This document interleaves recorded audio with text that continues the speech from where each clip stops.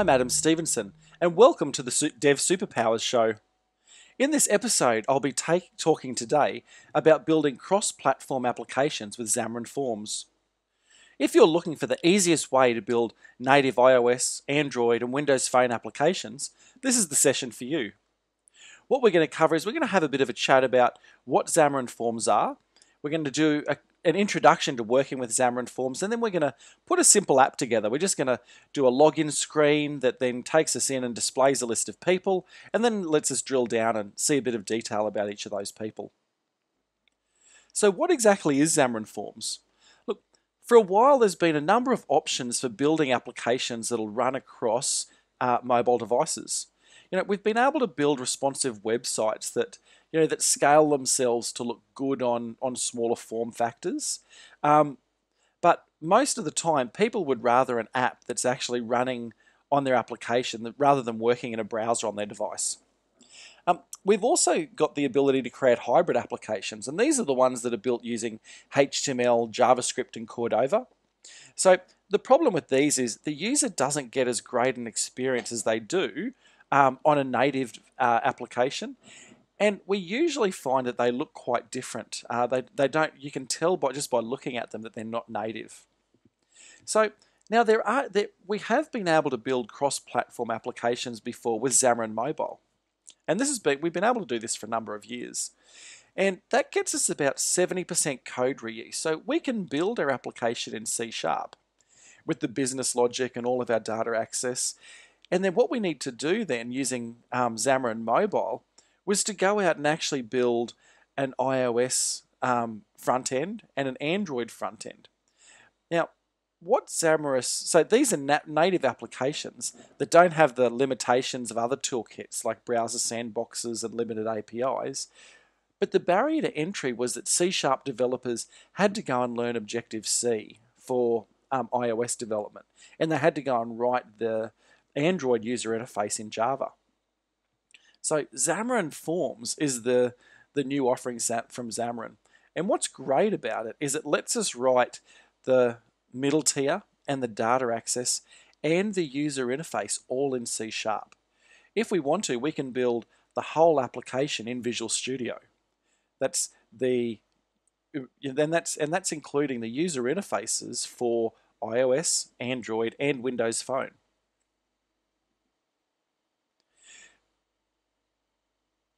Um, what I'm going to do is I'm going to jump into, so you can do this using Xamarin Studio, but I'm going to jump in. Oh, sorry, I didn't mean to kick that off. Okay, so I'm actually, I'm going to see, you'll see I'm actually running, so we can build our applications in Visual Studio, but I'm actually going to be using Xamarin Studio, fully building it on Mac. So if you are going to build iOS applications, even if you're using Visual Studio, you either need to be working on a Mac or have a Mac handy to use to be able to actually build the solution. Um, one of the best things about working with Xamarin Forms is that because we're building we're building the user interfaces just using C Sharp or optionally XAML. And then Xamarin Forms renders the user interfaces using the native controls of the target platform. Um, this, is, this, this allows the Xamarin Forms application to, to retain the really authentic look and feel for each platform. And then if we need to, we can actually then go and add um, controls from or build some native, use the native UI toolkit if there are parts that we need from those uh, individual platforms. What I'm going to do is in Xamarin Studio, I'm going to jump up to the File menu and I'm going to create a new solution.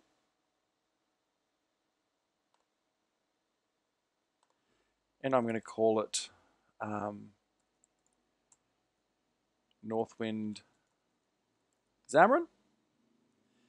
And there's a couple of different options in here. I'm going to go into mobile apps and there's a couple of different options. I can either see there's options for portable and there's an option for a blank app using shared libraries. Now, the difference between the portable class libraries and the shared projects is that portable class libraries are compiled down into a single assembly where shared projects work on compiler directives. Um, this can make it harder to get compile time errors and write unit tests across all of the code in the shared projects. So we're always going to choose portable class library projects. So I'm going to hit OK. Now, what we can see is, is we've got a solution here, and we've actually got three projects in the solution. Okay, we've got the portable library. Now, this contains all of the shared code and shared UI that we'll use across all of the platforms. We've also got an Android um, project. This is going to contain the Android specific UI and the entry point for Android applications. And we've got the same thing for iOS. So this is the where we put all of our iOS specific code. If I was in Visual Studio, you'd see that there'd be another project there for Windows Phone. Now, I'm going to kick the, uh, I'm going to set the Android project as the startup project, and I am actually just going to kick that one off. So I'm going to say run with, oops.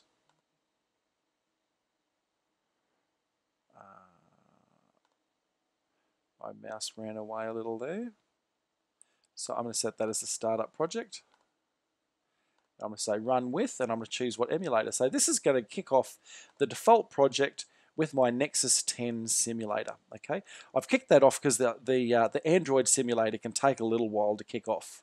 So while that's opening up, I'm actually going to open up the project that I just started.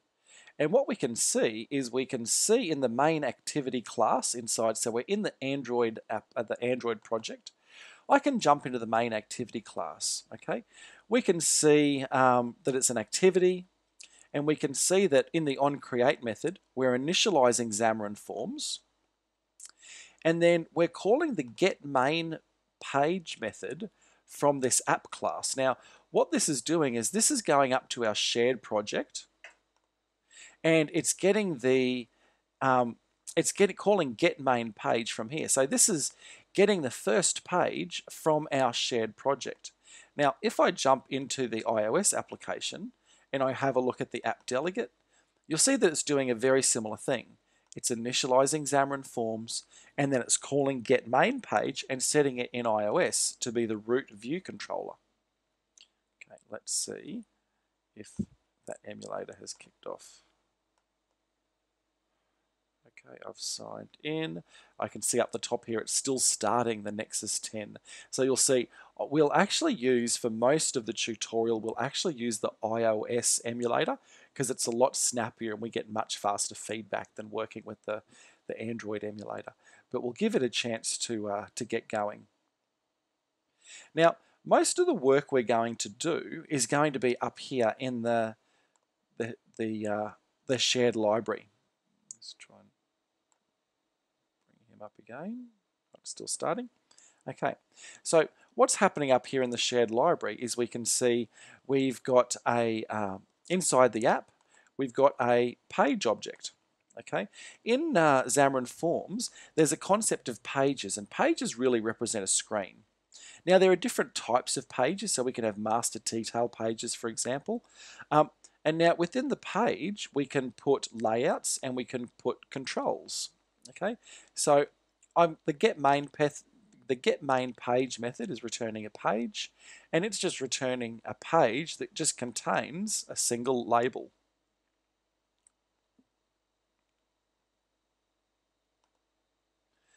Okay, we can see this is still starting. Okay, excellent. Now that it's started, it'll be it'll be deploying.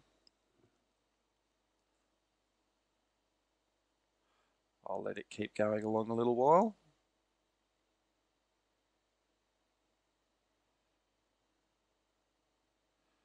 Um, so what we're going what we're going to do is we can take this. It'll be nice if uh, this one deployed before I had to start changing the code.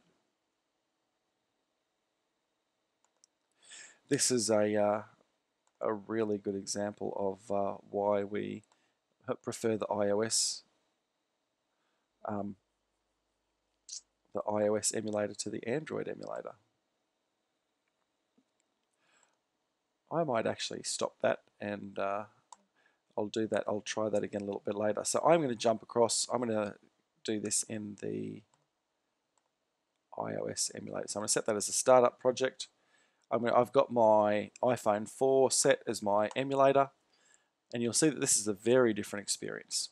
Okay, so it's compiling it, it's kicked off the emulator, and it's deployed Hello Forms across to the emulator. Okay, now I want to make, I want to do a little bit better than that. So I want to do a little, put a little more in than just Hello Forms. So what can I do? I'm actually going to go and I'm going to create, rather than just putting everything here, I'm going to go and create a page in my Xamarin uh, shared project. So I'm just going to right click and choose add and choose new file. Um, I'm going to create a new class and I'm going to call it my login page. Okay. I'm going to come in here and I'm going to say that my login page is a content page. Okay. Um, now in my login page, in the constructor, I'm going to declare a label. Label 1 is new label.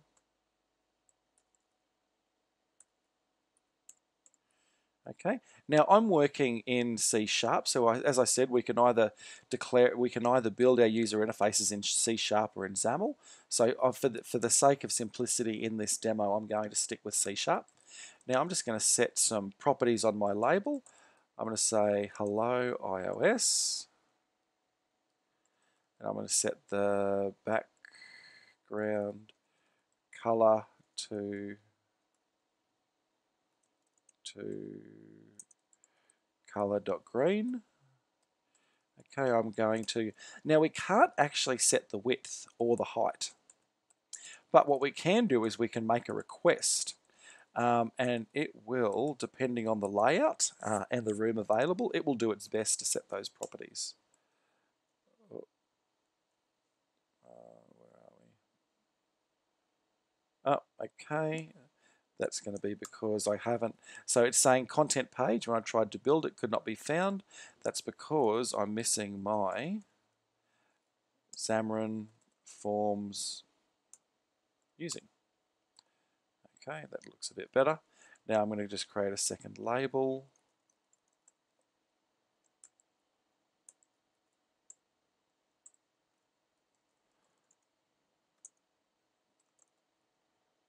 Hello Android.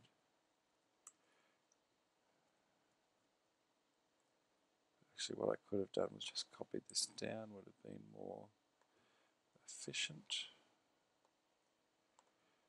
Okay, and I'll make that one red. Okay, so I've created two labels. Now what I'm going to do is I am going to create a new layout and I'm going to say my layout is an absolute layout. Okay, now an absolute layout lets us do positioning similar to how we do positioning in uh, Windows Forms applications. Children.add, so I'm creating the, I've created the layout now I'm going to add, the, add those layouts and I'm going to specify the exact place on the layout where they should appear. So label 1 I'm going to put at 2020. Um, oops.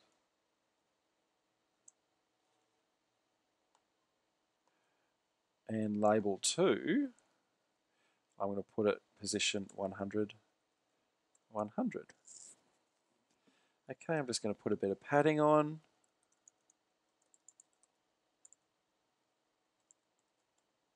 And then I'm going to set the content property equal. So this is the, the content property of the page. I'm setting to the light to be the layout that I've actually just created. Okay, so now that should build. Oh, uh, what have I done wrong? Is a new absolute layout. How's that look? That looks pretty good. Okay, so I've come in and I've created a login page. So now what I'm going to go, I'm going to jump back onto my app, and now instead of returning this page that just returns that uh, that uh, just specified the um, the label, Instead, what I'm going to do is I'm going to return new login page.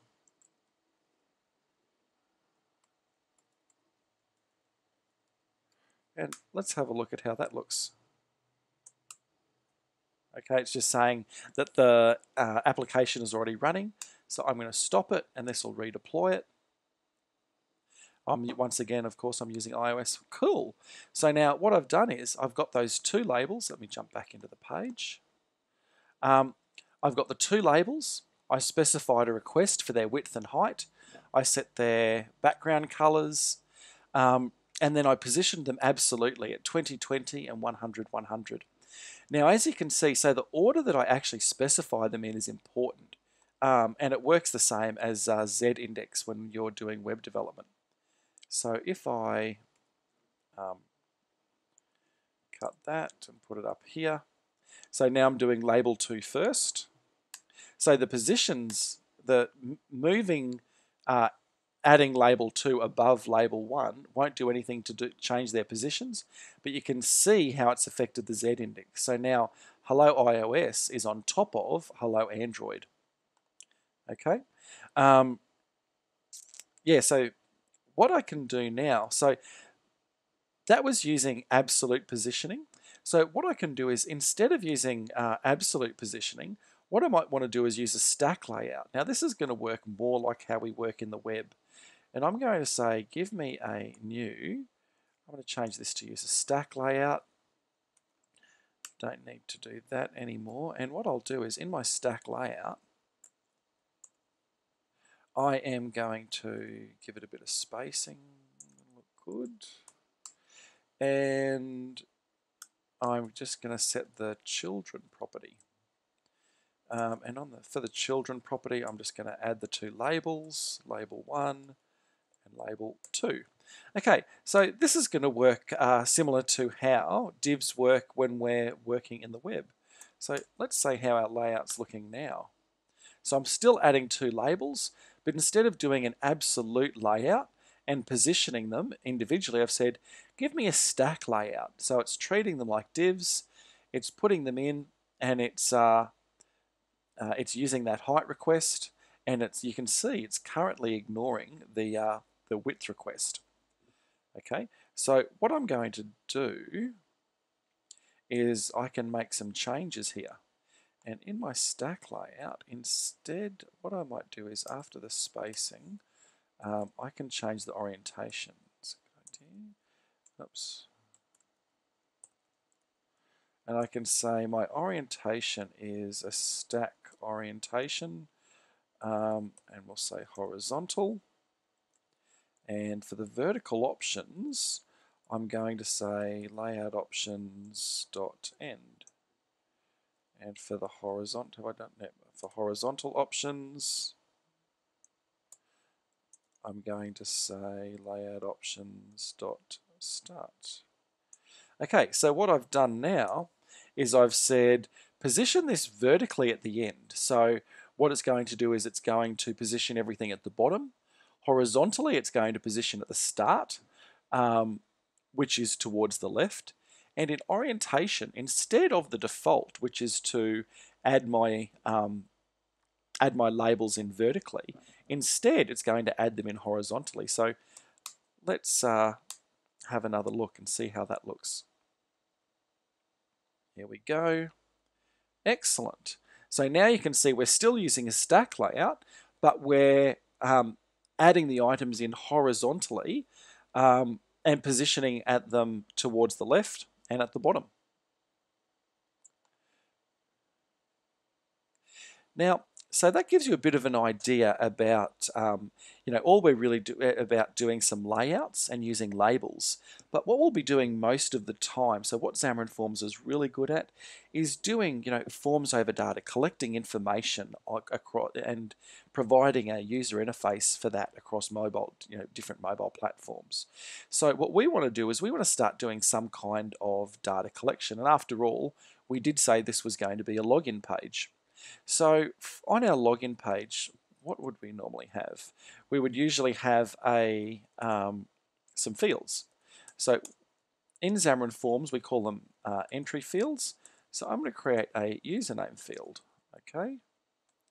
And I'm going to create a uh, password field. And I am going to create a button, which we call buttons. We'll call it the login button. Okay, so I've declared my controls. Now when I start my login page, I'll set, let's set a title, and I'm going to call it uh, Mentor Login. So we'll make it for our Fire Bootcamp. Have I done padding? No, I'll do some padding. Okay, now I'm not going to put any labels on my um, login form, but what I am going to do is I'm going to add a logo. So I can just actually um, specify the source and I've got the Fire Bootcamp logo on Fire Bootcamp logo. So Fire Bootcamp is our uh, nine-week intensive uh, .NET, Angular, and uh, MVC training course, and I've used the wrong brackets here, so I'll jump back in and change those. Um, now I'm going to instantiate my field, so I'm going to say my username field is a new entry field, and I'm just going to specify a placeholder the same way I would on the web, and I'll say that's username. So uh, that gets us away from needing to use a lot of labels and keeps our UI nice and clean. Password field is new entry. And we'll say that the placeholder for that one is password.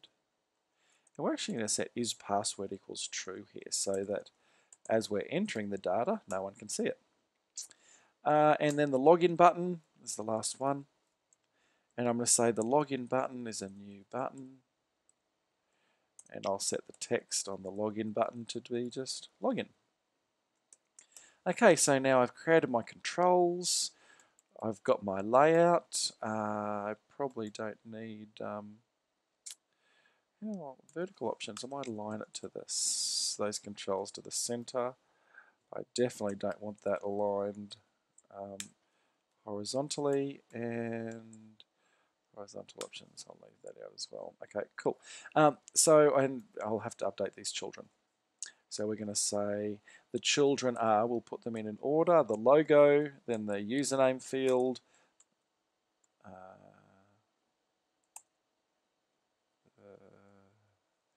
username field, and then the password field, and then the login button. Does that look right? Nearly. That looks better. I know. Logo.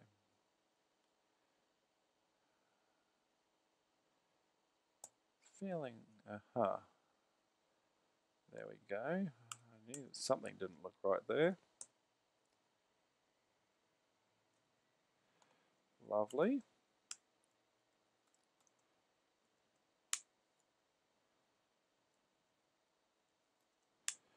Okay, so while that's that's how that's building, I'll do a little bit of a tidy up.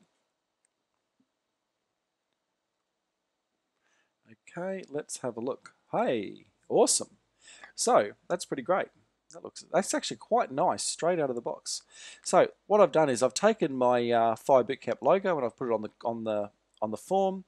I've added in a placeholder for username. I've added in a placeholder for password. Um, and I've added a login button. Now I wonder if that Android emulator ever got around. Oh, Android.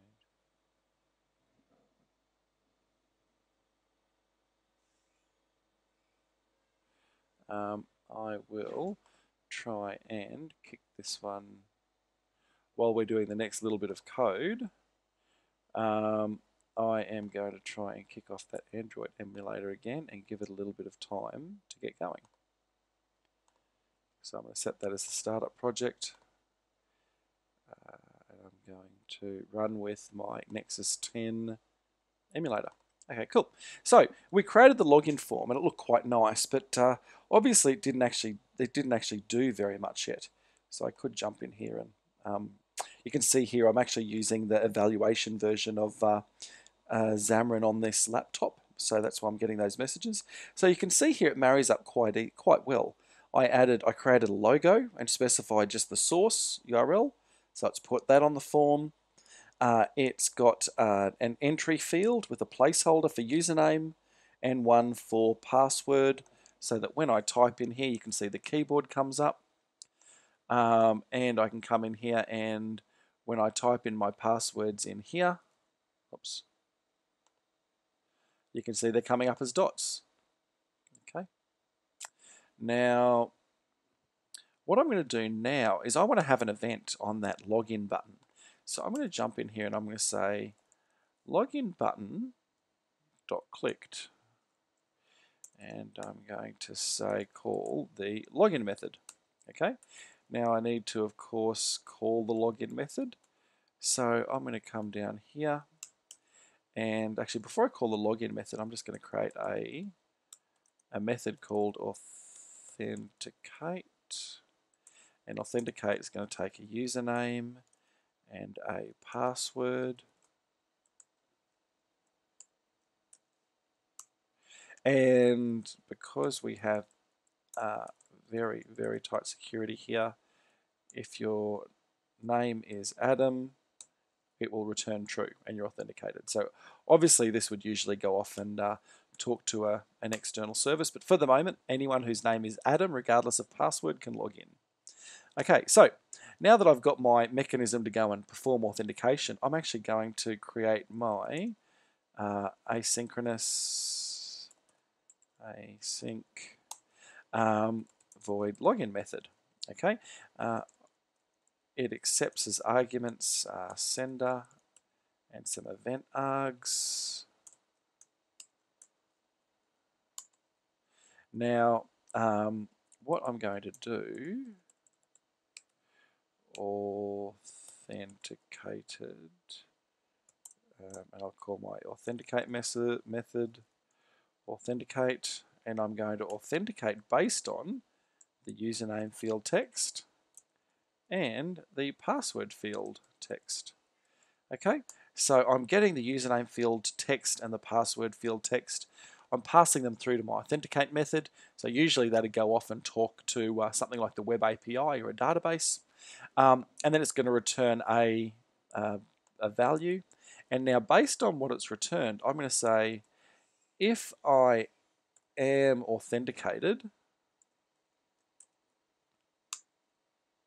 if I am authenticated, um, display an alert, log in your method saying you're logged in.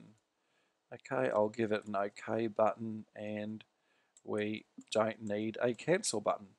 Okay, so you'll notice that I'm using a lot of uh, the async await. Um, so it's great that uh, that asynchronous support is already in, uh, is all throughout Xamarin. So it's what have I missed? Async. I've spelled async wrong. A uh, S Y N C. Cool. And now that should be great. So let's have a little sneaky back to our Android emulator.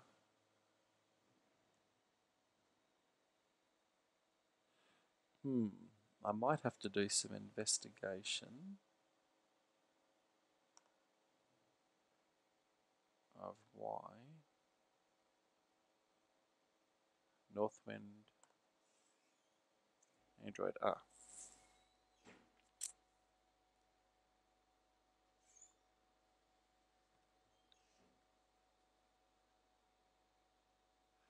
Okay, so that was the other one that got deployed. So no, it hasn't actually, it's not actually deploying these. So um, we could wait and it will eventually deploy. Um, what, I'll, what I'll do, rather than uh, wait and slow down the demo, so the, it's when your work, so this is a really, so it's a, a, a, bit of a demo failure, but really it's a it's it's part of the lesson. The uh, the Android emulators are very very slow. So what you really want to be doing with Android is using a device or having a look into something like Genymotion. Um, and we'll be having some Xamarin rules come up on our website. Uh, so we'll definitely be talking about the Android emulators. But um, you can see here, a you know, obviously here are some uh, some apps that I generated uh, from this from my practice of this demo. Um, and you can see I you saw the one before there with the two squares. You can see this the user interface looks a lot smaller. So there you can see the uh, the username and password for this application. Um, you can see the fields look a lot smaller. That's because this is actually for a Nexus 10. Um, so it's actually for a much larger device, but it's scaled down to fit on the screen. Okay, so you can see that, but what it has done automatically is it's taken and it's used the, um, the Android controls. So we've got a real Android look uh, on our Android emulator. And because it's using all of the, the native Android controls, and we've got the the really true iOS um, look on the on the iOS device, uh, which is great. So the iOS emulator is great. It deploys and works really fast. So when I'm developing, I almost always so I, I constantly use the iOS emulator, and then you know every hour or so I'll check back in with the Android emulator to make sure that you know everything's working um, on Android as I'd expect it to do. But pretty much for getting rapid feedback, I'm constantly getting that from the um, from the iOS um, emulator. Or and the tip is for uh, if you're going to be using, uh, sorry, for because you, you, you, know we highly recommend you would develop for Android, is uh, either use a device or come and have a look at something like Genymotion. Oh, it looks like what I did before is actually just about to kick off. So it's starting the Nexus 10 API. It's gone dark, so I'm hoping it's just going to now bring up uh, the application that we tried to tried to deploy a few minutes ago. Uh, because I want to move on and start writing some more code. Let's see how that goes. Um, so I'll start talking about what we're going to do next. So what we've done is we've created a form. Oh, I haven't actually, I can demo that in, I think I deployed it. I haven't that deployed that version to iOS yet.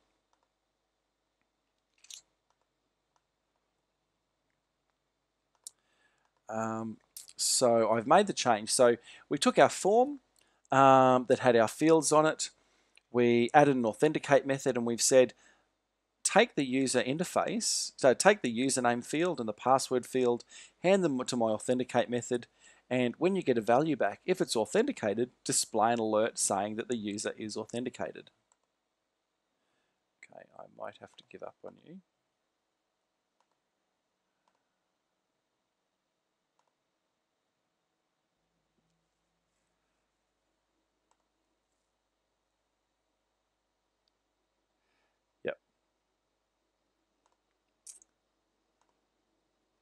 Okay, I'm going to leave uh, Android and I'm going to run the run where we're up to in the iOS.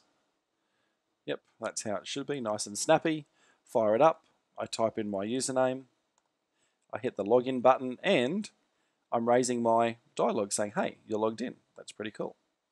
Okay, the next thing we want to do is start adding some details. So we want to do, after we log in, we don't want to just display a message, we actually want to do something. So let's go and create a new page. So I'm going to jump in I'm going to add a new file. I'm going to create a person list page. Okay, in my person list page, I'm going to say that's a content page.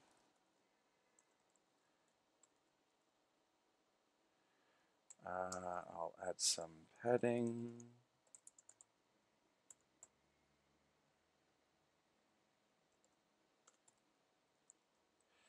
Okay, I did it again.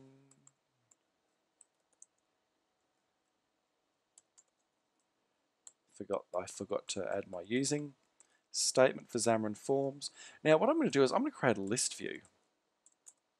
Okay, and what a list view is going to let me do, is capital L, um, is actually take a list of objects and actually display them nicely down the page. Okay, so I'm going to say on my list view, I'm going to specify a row height of 40. Okay, and something here isn't quite right. row height, thickness. Uh. What am I doing wrong? Oh, left off the new keyword. That'll do it. Okay, so I've created a list view. Now, of course, I need to put something into the list view. So in a person list, I'm going to create a person class and have a list of people.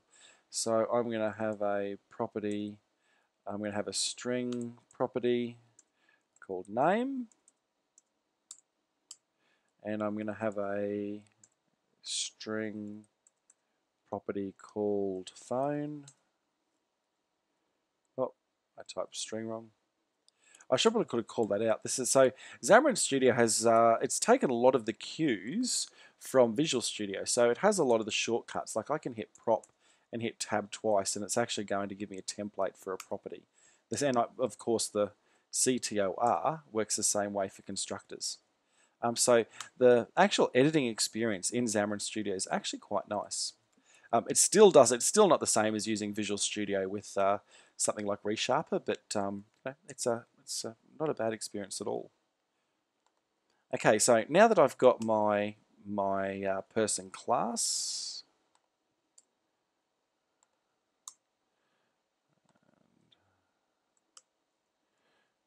okay, I'm going to set the uh, list view items source. I always forget that S. Okay, I'm going to set it to an array of person.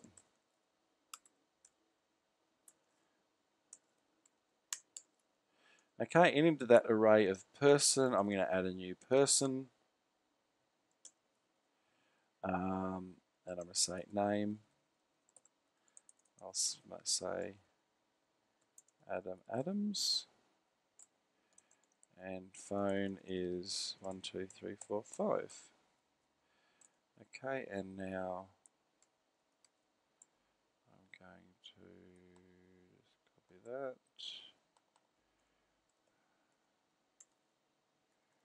Brad Bell.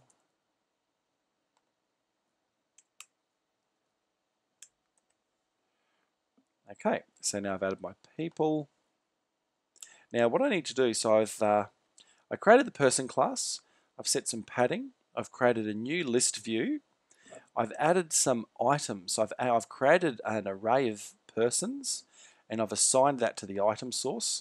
Now the next thing my list view needs is I need to specify an item template. Okay, I need to say, look, I've assigned an array of people to this list view, but what I actually need to do is I need to tell the list view what to display. So I'm going to create a data template and I'm going to say the data template is type of a text cell and list view dot item template.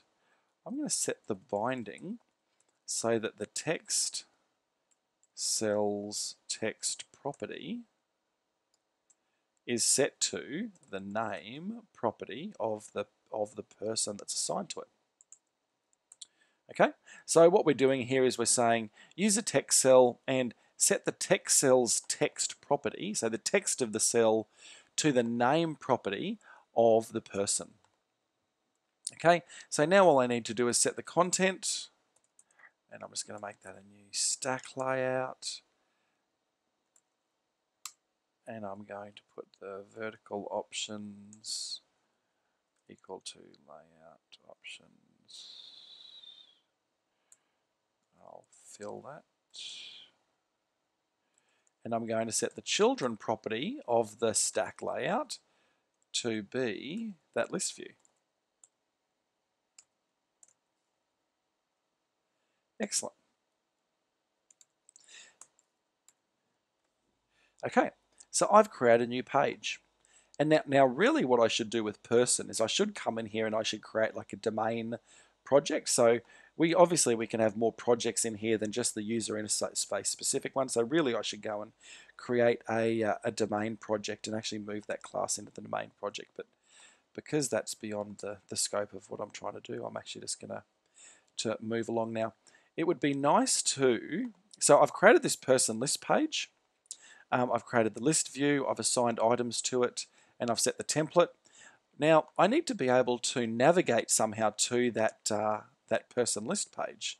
So what I'm going to do to be able to do that, I'm going to jump back into my login page. And in my login page, I'm going to change this around a little bit. I'm going to say if the user is not authenticated, display an alert. Login failed. Okay.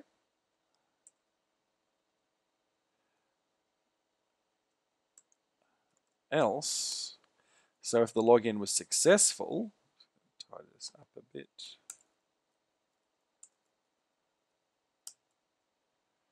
Otherwise, if the login is successful, what I'm going to do is I'm going to go and navigation. I'm going to push and I'm going to go to a new person list page. Okay. Now, Xamarin Forms has a uh, the way that Xamarin Forms works is it has a last so it's a, a last in first out stack of page objects. So what we do is, is to move from one page to another page, we push a page onto the stack. And the page that's on the top of the stack is the page that's being displayed in the user interface. So what we're doing here is we're, we're creating a new, if the login is not authenticated, we're displaying an alert and saying, hey, that didn't work. But if it is authenticated, what we're doing is, is we're creating a new person list page and pushing that onto our stack of pages. And because we're pushing it onto the top of the stack, that's the page that gets displayed. Okay, so what I'm going to do though, I'm going to make one other little navigation change is I'm going to jump back in my app and I'm just going to wrap my new login page in a navigation panel. Navigation page. Okay, so what that's going to do, so the navigation page class um, will manage the stack of pages, okay? And um, it's also going to add a navigation bar to the top of the screen that displays the title, and when it's appropriate, it'll have the it'll have the back button on it. So now I've got navigation page. Now I should be able to run this and have a look.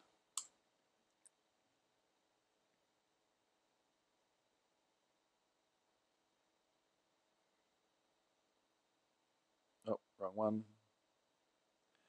I'm going to set iOS as the startup project.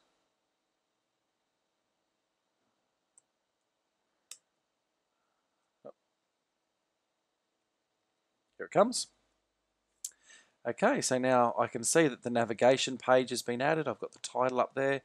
Now when I log in, what I'm going to expect to happen is I navigate to my mentor login page. So I'll just jump back in so you can compare how that looks.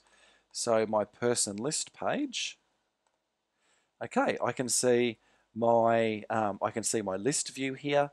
I can see the list of people, so I can see Anna Adams, Adam Adams, and Brad Bell, um, and I can see that uh, it's bound to that name property. So that's pretty cool. We're just going to do one more thing. What I'd like to do is when I click on one of these uh, mentors, I'd like it to open up a new page and show their details. Okay, so what I'm going to do is I'm going to go in and I'm just going to, as I did before, I'm going to go in and add a new file, an empty class. I'm going to call it the um, the what will I do? I will call it the person page. Oops. Person page because I'll use it to display people. Okay, now I'm in my person page. And what I'm going to do is I'm going to make that, I'm going to remember to use Xamarin.forms this time. I'm going to come into my person page. I'm going to make it a content page. Okay, but this time, my person page, I'm actually going to require that when I instantiate a person page via the struct constructor, I'm actually going to say this requires a person to be passed to it. Okay, um, I'm going to put in some padding.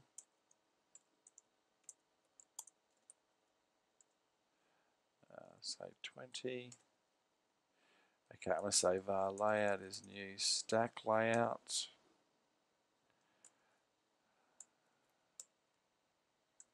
Spacing is 20. And for the children, all I'm going to do is I'm going to put in a couple of labels for the moment. I'll say new label text equals person.name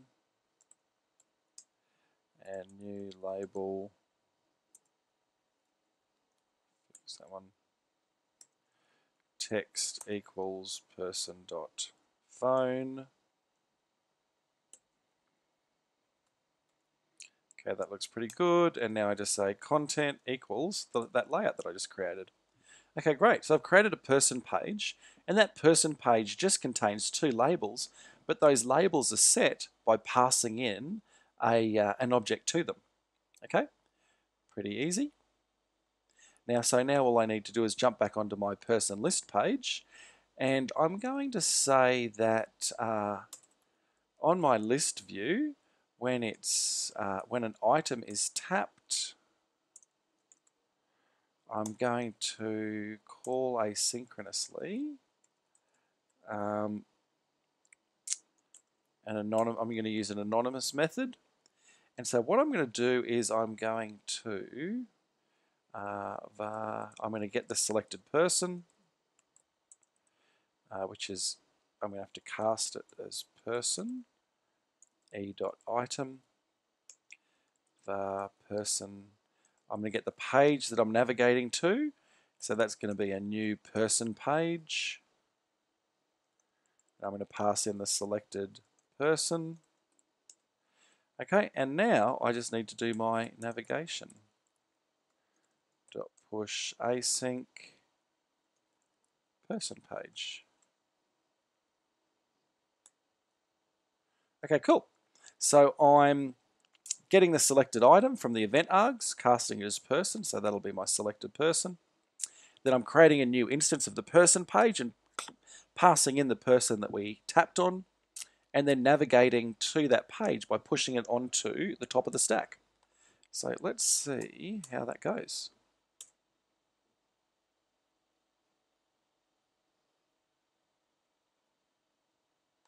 So I am going to log in. And when I click on me, ah, excellent. It goes to Adam Adams. When I go back, click on Brad Bell, navigates to Brad Bell. Excellent. So what we've done is we created our login form. We used, we explored some, um, we explored some, uh, we had some layouts, a couple of different layouts. We explored using fields. We handled some events and some navigation uh, and we used the list view. We covered what is Xamarin Form. So as a bit of a recap, I hope you've enjoyed that. I hope you saw that it's pretty easy to get going with Xamarin Forms. When you're doing a forms over data collection application, um, actually before we leave, I'm just going to, no, didn't uh, end up coming through. So what we saw was is we saw that we should definitely uh, investigate the other options for uh, for Android emulation, and the best way that I've found is just to is to get an Android device. Um, but then we actually saw that if we did have the device plugged in, if you were able to see the device, um, you'd be able to see that the the user interface that's rendered on Android um, is exactly the same as the is functionally exactly the same as what's rendered on iOS, but it's rendered fully natively and it looks like an iOS, uh, it looks like an Android application, and the iOS application looks like an iOS application, and that's because they're both using their built-in controls, and uh, so it's it's a, it's a really amazingly easy way to be able to build native applications 100% in C Sharp. Um, so Xamarin Forms is really suited to building enterprise applications. You don't need to understand the workings of Android or iOS or, or Windows Phone 8 Uh, it extracts all of the, or Windows Phone, I should say. It's actually supporting the Silverlight version. Oh yeah, Windows 8. Um, so thanks for joining me for the Xamarin Forms episode of Dev Superpowers. Um, we'll see you. We'll see you uh, next month, the same bat time, same bat channel for the episode you've been waiting for, AngularJS Dev Superpowers.